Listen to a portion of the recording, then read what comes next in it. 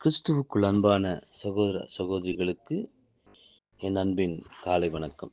பரலோக மன்னா செப்டம்பர் பதினொன்று.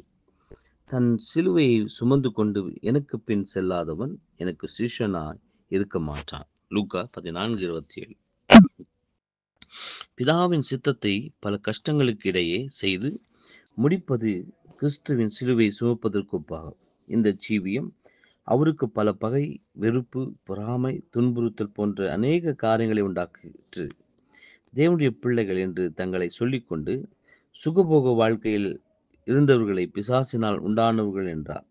இடுக்கமான பாதையில் நடக்கிறவர்களாகிய ஒவ்வொருவரும் இயேசு கிறிஸ்து ஜீவித்தது போலவே அந்த சிலுவையின் ஒப்பான ஜீவியும் ஜீவித்து அந்த எல்லா பாடுகளையும் நிந்தனைகளையும் உபத்திரவங்களையும் அனுபவித்து பிதாவின் சித்தத்தை நிறைவேற்றுதலில் தங்களை முற்றிலுமாக ஒப்பு கொடுத்து சத்திய ஒளி பிரகாசிக்கச் செய்ய வேண்டும். மத்திய பதினாறு இருபத்தி நான்கிலிருந்து இருபத்தி ஏழு வரை. என்பதே. ஆமேன்.